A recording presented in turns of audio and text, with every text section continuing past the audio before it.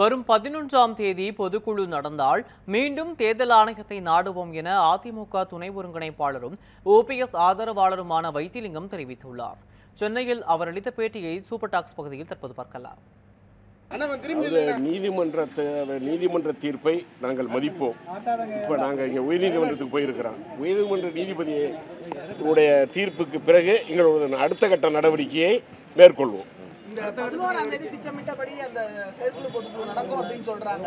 அதாவது சட்ட விதிகளின்படி தார்மீக அண்ணாதிமுக இதை இதை புரட்சி தலைவருடைய அண்ணாதிமுக ஆரம்பித்த போது சட்ட விதிகளின்படி இந்த பொதுக்குழு நடத்தக்கூடாது. மீறி நட நடக்கு நடந்தால் எந்த தீர்மானமும் செல்லாது. மேற்கொண்டு நாங்கள் வழக்கு தொடக்க மற்ற தேர்தல் கமிஷன் நாடவும் எங்களுக்கு வாய்ப்பு இருக்கிறது. இப்பொழுது உயர்நீதிமன்ற தனி நீதிபதி தீர்ப்புக்கு பிறகு எங்களுடைய அடுத்த கட்ட நடவடிக்கையை சொல்லுகின்றோம்.